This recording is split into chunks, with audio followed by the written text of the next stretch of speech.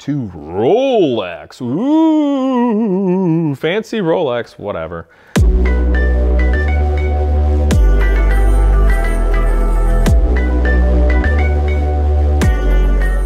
What's up people? So today I'm going to talk about something that's kind of car related. It's uh, watches.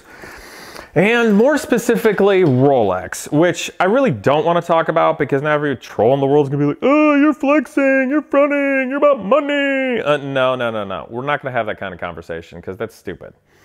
But I have had a lot of young people out there who are mechan mechanical minded geeks notice watches that I've worn and in particular this one, which is a Rolex GMT Master 2, which is fancy talk for Greenwich Mean Time because it has a complication that tells you what Greenwich Mean Time is. And you can pull out the crown and click over the hour hand to different time zones in case you get on an airplane. But I wanted to bring this up and tell a story because Rolex, I think, is the most misunderstood watch for all car guys out there. It's something that's regarded as expensive and fashionable and mysterious. And yeah, other than expensive, it's not necessarily any of those things. what's, but what's the origin of Rolex? What does it mean to me? Why the heck do I have one? Because truth be told, I used to hate Rolex with the fiery burning passion of a thousand suns and think anybody who ever got one was an idiot. But then one day I changed my mind. So, long time ago, I grew up in a small town in Ohio, and there's basically one jewelry store. And in that jewelry store with watches, and you know, I don't know what it is about guys uh, and boys, but we love mechanical things. We love cars, we love steam locomotives, airplanes, motorcycles, guns, watches, you know, all these sorts of things. Guys tend to be mechanically minded, you know, engineers. So watches, if you start to like them, there's something that guys really enjoy. Plus, we're dudes. We don't really get to do all kinds of crazy fashion things like women do or wear jewelry or anything like that. So a watch is like all we get. So it kind of means a lot to a dude, guy. And uh, so at this little jewelry store in my hometown, there was quartz movement watches, which were kind of cheaper. They're fashionable. They're fun. It might be something that's $100 or $200. Maybe the most expensive one might be five or $600. And uh, on that note, Rolexes are mechanical. Their movement and everything is powered by a spring and they have little gears and little ruby bearings and all kinds of precise tolerant parts that click away to tell you time. A quartz movement watch is cheap to manufacture, it has a battery in it, it's electronic, and it's perfectly accurate. The funny truth of the matter is, a quartz watch that's decent is way more accurate than even the best mechanical watch such as Rolex, which is super expensive. So there is a question as to why and questioning all of us guys and people's sanity, which that's perfectly okay. but anyway, so it's jewelry store. You know, things like Citizen, Timex, whatever, you could get those, they'd be fashionable, they're entry level, right? And then after a while, they got Tissot, which is a step up, and they had quartz movements and some more entry level automatic or mechanical movement watches. And Tissots are pretty good. They're pretty decent Swiss watches. And those things, I don't know what they range from a few hundred dollars to maybe $2,000. Might be a real expensive Tissot. And uh, that particular jewelry store didn't have much in the way of that. But then there was this massive jump up they had to Rolex. Ooh, fancy Rolex, whatever. I don't even know what the price ranges are of the things anymore because I don't pay attention to it. But basically all you need to know about Rolex is they all kind of look the same. They have a few different bands. The Rolex people are going to get so mad at me right now. But they're sports watches that have evolved to be fancier. They have different metals, stainless steel, platinum, gold, rose gold, yellow gold, white gold, mother of pearl, different bezels, a couple different complications. Ooh, I have date. I don't have date. I'm ladies. I'm men's. They're not that, they're not that, they're not that super varied, okay? But Rolex is something that is absolutely iconic going way back when. Uh, if I'm, I could be mistaken here, but like one of the three manufacturers, top manufacturers of uh, watches in the world where they make everything. Uh, it's Rolex, Jaeger-LeCoultre, and Patek Philippe. And Rolex is kind of like the durable sports watch that everybody knows. And as we all know, Rolex sponsors a bunch of sporting events around the world, higher end ones, races, things like that. You know, uh, it's pretty neat. But I hated them when I was a kid because they had these entry level watches that you might be able to afford and maybe a Tissot or two but then this giant jump up in price to these really expensive Rolexes. So everybody in my hometown, they just thought the only good watch in the world that everybody had to look up to to one day get was Rolex. Ooh, uh, no. I just, I just it was so like narrow-minded because Rolexes are sports watches.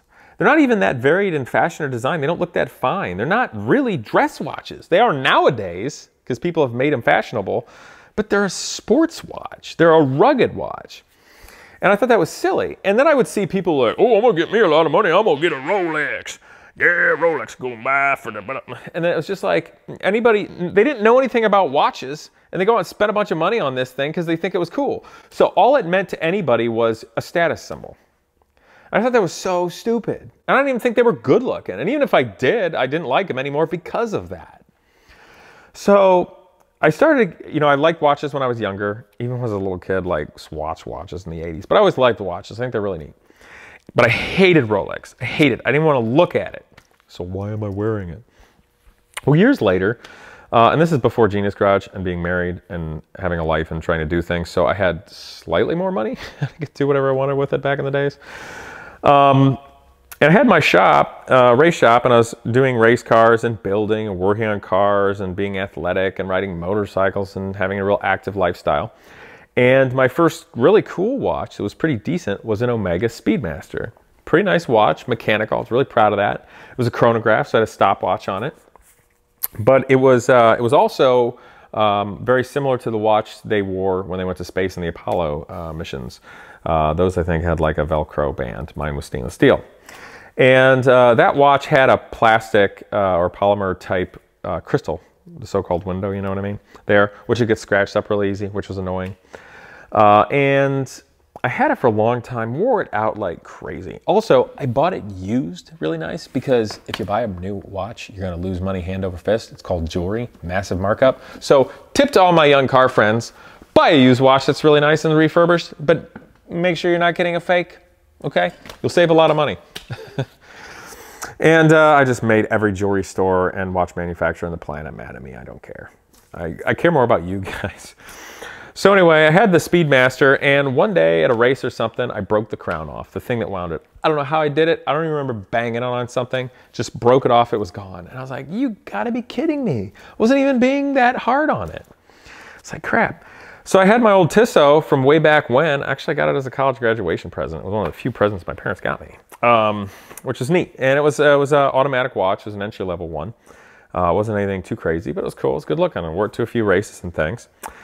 So I got it out of the dusty drawer or whatnot and wore that to the next race uh, when I was looking after some cars for a client. And it rained, deluge rain at Mid-Ohio, like it always seems to be the case in the summer. And um, my watch got full of water. I wasn't even swimming or anything. Nobody doused me just from the rain. Must have made its way into the crown. Maybe the service wasn't done right or something like that. But you know, when a watch gets full of water, your wrist heats it up and then the coolest part is the crystal so it condenses and you're just like, you've got to be kidding me. And for any watch, that's terrible getting water in it. So after that, I took it, had it serviced, cleaned out, everything like that. But I got to the point where I was like, this, this is stupid. Like, I, I need a watch that can handle my lifestyle. So I started looking around and I wanted to find something rugged, something cool, um, that I could wear underwater and never worry about getting, you know, uh, full of water or I wanted to be really waterproof. I wanted to be rugged. I wanted the crystal not to scratch. I didn't want to break off a crown. And I wanted to be decent good looking and have a little bit of a history because, you know, I like history and mechanical things. Call me a geek. And I looked and looked and looked. And then all of a sudden I realized, oh crap, that's like what a Rolex is. No. and so I looked into it and the watch I have uh, is a GMT Master 2, stands for Greenwich Mean Time, has that complication. And you can switch the bezel over and quick look at it and tell like what your time zone is, which is kind of neat. And if you're on an airplane, you can just switch the, uh, the uh, hour hand over, and that's kind of cool. And so I got it. I bought it as a certified pre-owned, so I save a bunch of money versus something new. And it was perfect when I got it. Definitely not a fake, and perfect. Papers and everything like that. So I suggest that to people. Anyway, um, and it looked good and I enjoyed it, you know. Um, and the thing that's neat about that is, which I found, I still have it and I still wear it. I wear it the most of any watch I have. And the reason being is, it's the only watch I've ever had that can withstand my lifestyle. I've worn it working on cars, working on race cars. I've worn it in races. I've worn it leading businesses. It's been on Indianapolis Winner Circle. I've worn it in a fighter jet. I've worn it climbing the rigging of a tall ship in the Atlantic Ocean. It's been in oceans. It's been in the Pacific Ocean surfing. It's been the Atlantic. It's been in the Bay of Biscay. It's been in the North Sea. It's been all over everywhere. I've worn it outside. I've worn it you know, doing manual labor, racing, riding motorcycles, working on cars. And the other thing that's cool about it is it's a sports watch. That's what they were back then. They were for people with an adventurous, rugged lifestyle, whether you're a diver or a pilot or a race car driver or whatever. That's what it was for. That's what a Rolex is intended for. But the reason they became expensive and fashionable and this object of like magical expense and social class is because Rolex marketed, I mean, they make a fine product. I mean, this thing is just badass. By the way, I'm not sponsored by Rolex or any jewelry store, so if I'm telling you this, you know it's true. Or at least that's my opinion. So they marketed the lifestyle to people because that's exciting for people. Because even if you can't have that lifestyle, you can have a little piece of it and feel cool and feel like you're connected to like Jacques Cousteau or Paul Newman or something cool like that or some fighter pilot, right? And that's fun. People like that. That's that's the mental intrigue for men uh, with things like this. And it's all mechanical, so that's neat. It's a little fine precision machine. You listen to it, la la la, right? So that's exciting. And because they marketed it that way, it became a fashionable item and something that people look at positively, which is funny because you can wear it with a suit or you can wear it to a formal occasion. And the truth is, it's a sports watch. You shouldn't wear it to something like that. It's not fine enough or nice enough. It's a watch to go be rugged in and do stuff, you know? And people are like, well, mine's solid gold. Well, that's because you wanted to spend a lot of money on a sports watch and you want it to be shinier. But uh, it's kind of fun. So if you have one of these, you can go from working on a race car or a race, and then if you got to rush home to go on a date or go out with your wife or go to something fancy, you can just clean yourself up quick, throw on a suit, leave your watch on, and then people think it's socially acceptable for you to wear a sports watch or a work watch. so if you see me wearing a suit or a sports jacket and I'm wearing a Rolex, I was being lazy or I'm traveling and don't want to take another watch um, because it's not, in my opinion, a really fine dress watch. I think um, fine dress watches are usually like a natural band and you know something like crocodile or alligator or whatnot um, and have real fine hands and movements la la la. But that's just my own personal opinion. And actually if you go way back when people didn't wear wristwatches before kind of like the 19 teens and 1920s they had pocket watches. So if you really want to be formal or if i do i don't even wear a wristwatch at all. I wear a pocket watch because you don't want some ugly thing banging around on your wrist if you're a man. Of course, that's that is an old world kind of way of working it, but that's just the way I play it. So whatever. Um, so the reason I'm making this video, uh, first of all, I'm pretty self-conscious about making this video right now because I think money is dumb. And I think the fact that Rolex has, has become like, uh, what do you call that? A prestige or like a power thing to wear or a social class symbol. I think that's dumb too. Um, I just actually really like it uh, because it's been able to withstand my lifestyle. Even the crystal doesn't get scratched. It's pretty amazing. It really is. And then you wear it for five, ten years and beat it all up from doing all kinds of things, get great adventures, and when it's all ragged out, send it back to the manufacturer. They totally restore it, refurbish it, and it looks brand new, but it's still your watch. So that's pretty cool. And um, it's something I hope to have for the rest of my life. And one day pass it on to a younger family member who hopefully cares. Or if I don't have a younger family member, then I'll probably give it to a student who really cares or something. Because it's a complement to life. It's something that, I don't know, symbolically, I just feel it represents all the great adventures I've had with it and what I've done. And so it's, it's a companion to that adventurous lifestyle. And it's something really neat. It's just, it's just cool that way. Actually, I think I remember seeing an old episode of Magnum PI where like Magnum had a flashback to when his, his dad died and he, I think he was at like a military funeral and uh, he was wearing his dad's Rolex, but it was way too big for him like this as a kid and he was crying or whatever. and maybe that was the episode where like an airplane fell on him and he was on a mountaintop or something. I don't know. But um, it's just it's just cool. It's something that reflects that, you know, lifestyle and going way back when and something that you can pass down generations, which is kind of an old world European way of looking at it, aristocratic. Americans aren't into that. They're kind of into rampant consumerism and throwing things away. But it's just nice in life to not be that way. It's nice to have something or be in a house or in a life where it's going to last generations and hopefully mean something to you, even if that's just symbolic. So for me and for my Rolex, it may be the only one I ever have. Uh, I don't I don't know if I'd collect them. Maybe someday it'd be cool to have a Daytona, but I don't know when I'm gonna be able to afford that, or be in a race where I might win one or something.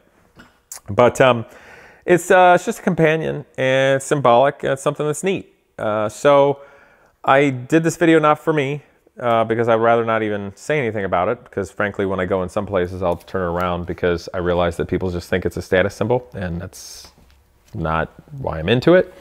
But there's young guys out there who care and they're into that sort of thing. And I don't think anybody's going to tell them the real deal about that, or at least what it means to me. So if you go to a race or vintage race and you see a lot of guys wearing things like that, it kind of suits the lifestyle. It's pretty neat.